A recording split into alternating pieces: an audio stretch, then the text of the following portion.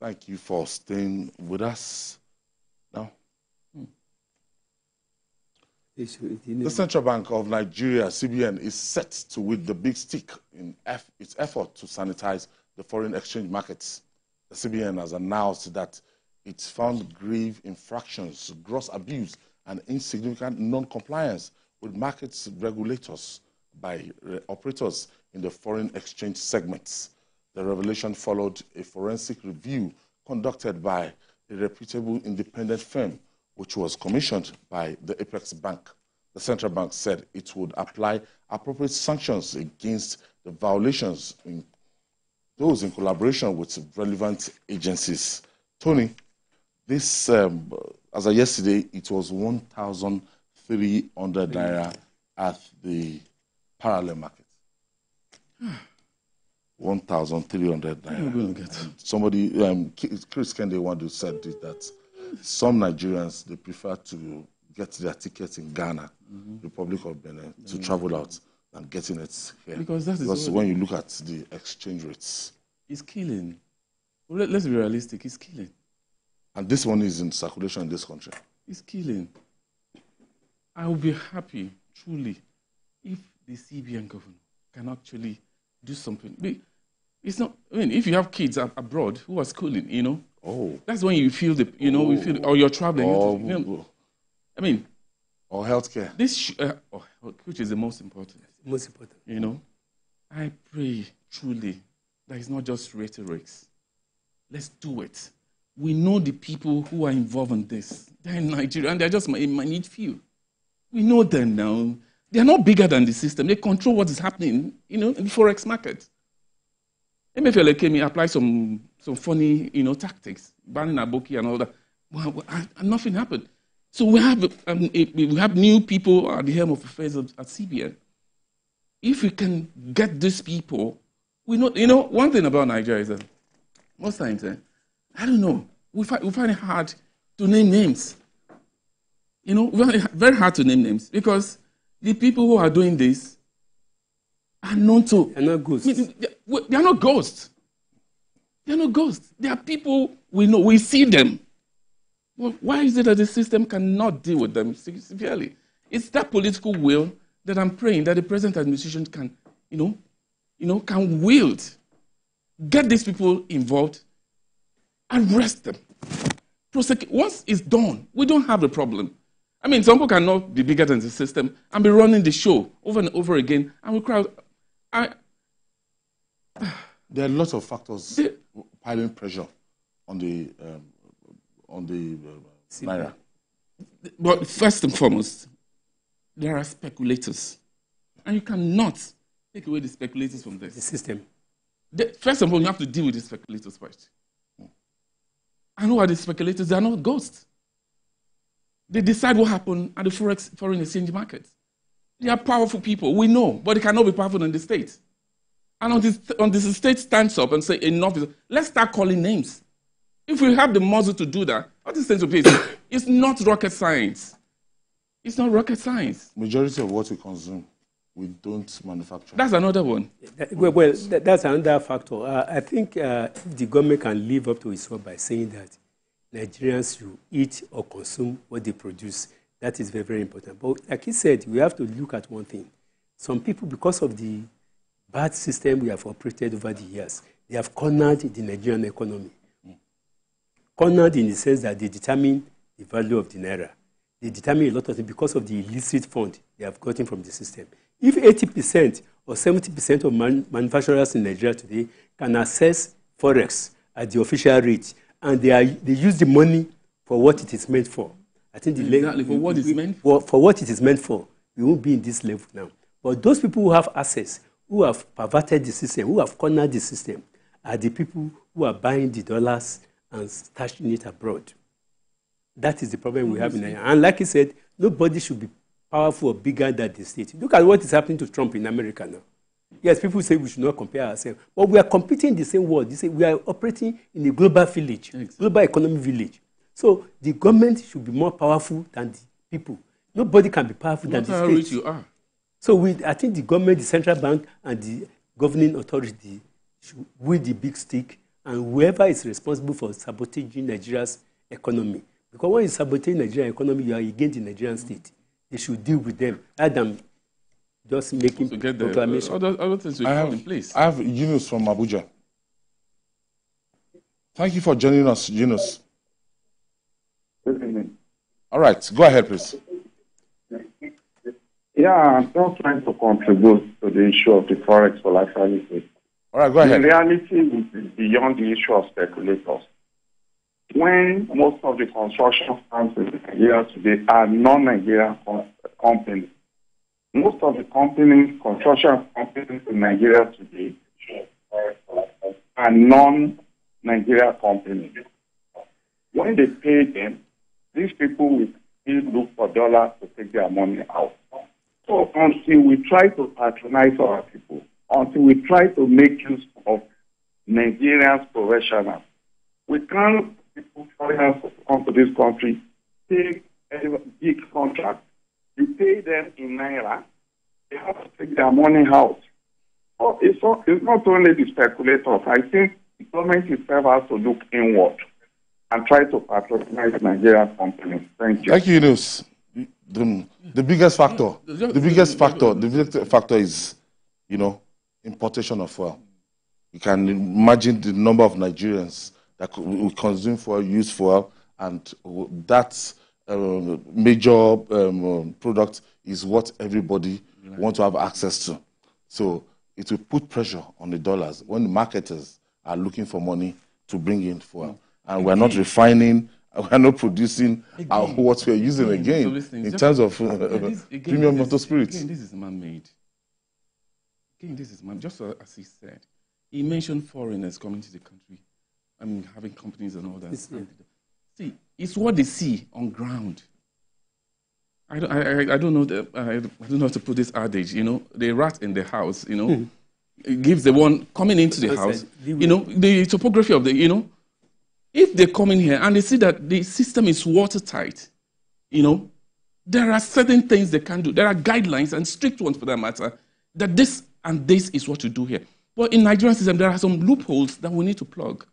When they come here and they notice that this is how it's operated, most of the, um, of course, they know nothing about the country. It's what you tell them because they have indigenous people working with them.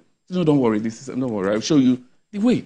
That is majority of our problem, apart from the forex, or whatever, is man-made. Majority of our problem is by us, and it's fueled by corruption. Corruption again, corruption. Cor- once we tackle it, we get this thing done. It's not hard to do. That's just the way if you, sit in a chair and maybe as a minister, a permanent secretary comes, you know nothing about the system because you've not worked in that ministry. But as a new minister, the PS comes and tells you, okay, no, you see that money, this is how we share it. what do you do? You remember Adenike Grange, former Yes, Minister of he Health? felt it- You know what happened? And then I think about um, uh, uh, Obasanjo's daughter was um, in the Senate then as a Senate committee chairman on health. And you saw that scandal then. He said, this is how we do it here. And say, okay, no, okay, from if you want to, if you must do it, from the gate man to everybody. She knows nothing about it. So we need to look at these things holistically and tackle it. It's, it's simple when it comes to forex. These are man-made. Our problem in this country, as I said again, once you have the political will to tackle it, send some people to jail and you see, and be mean about it. All right, Don't look at faces. we have Gabriel from Delta State. Thank you for joining us, Gabriel. Hello, good evening. Yes, go ahead, please. Hello? Go ahead, Gabriel. Well. I can hear you.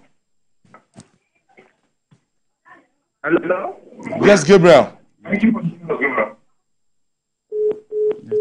Okay.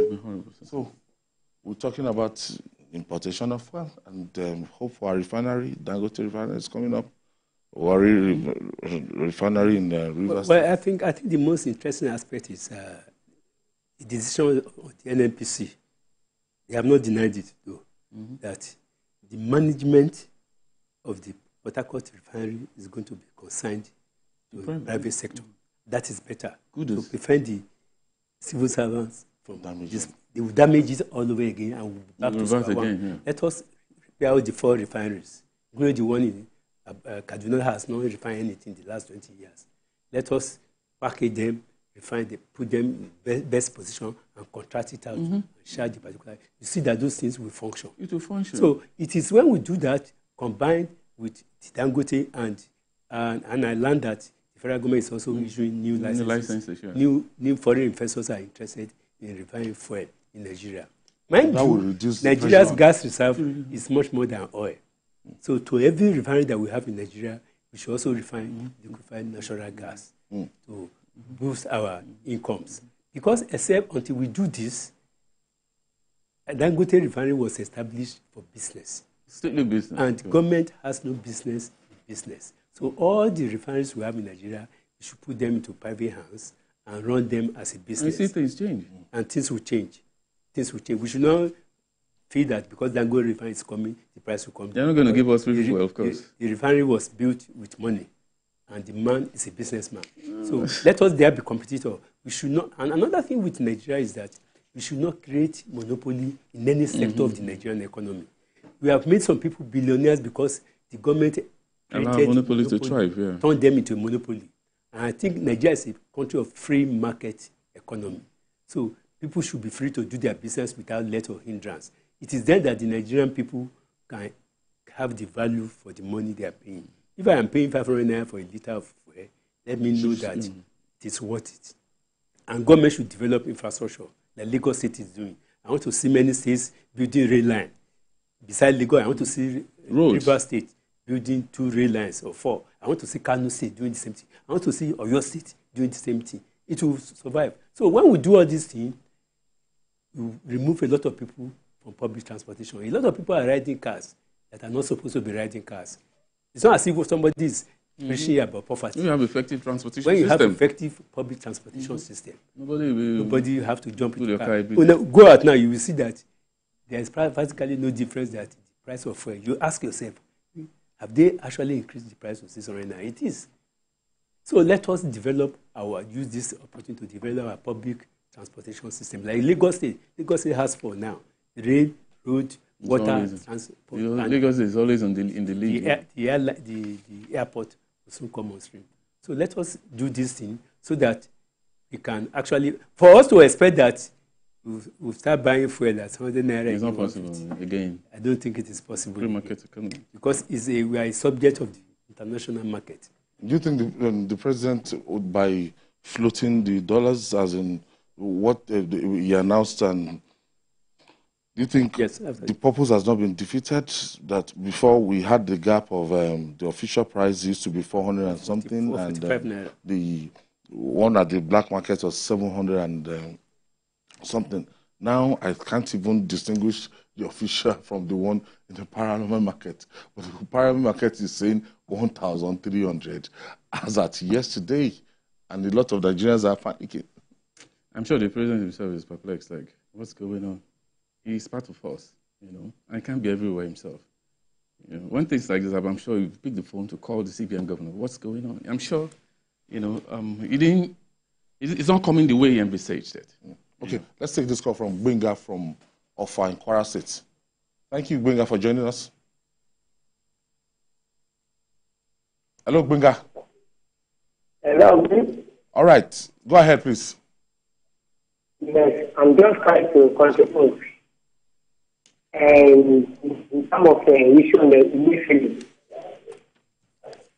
it is so pathetic that uh, this country, we don't have the law or rules that guide our organization. Because when you have rules and regulations that is not active, understand, it's as you don't have any rules at all at all. Because I think we have law in this country. All this is supposed to be done according. Them I cannot judge it up a thing and go scot free. Because the economy has already come already. So even people are even selling tomato in the market, they, people are not even on are not even skilled labor people. They know how to manage money. Imagine what is that caliber, the different qualifications that he has, and he crumble the economy of the country. I want to thank you, Benga. Thank you for your contribution. Mm. Now, the security situation in the Federal Capital Territory, FCT, calls for concern. To combat this, the Inspector General of Police, Kayode Egbetokun, has launched the Special Intervention Squad, SIS. Meanwhile, the Minister of Defense, Muhammad Badaru Abubakar, has expressed concern over persistent payment of ransom by Nigerians, particularly the increasing cases of crowdfunding on social media platforms. The minister said such action will worsen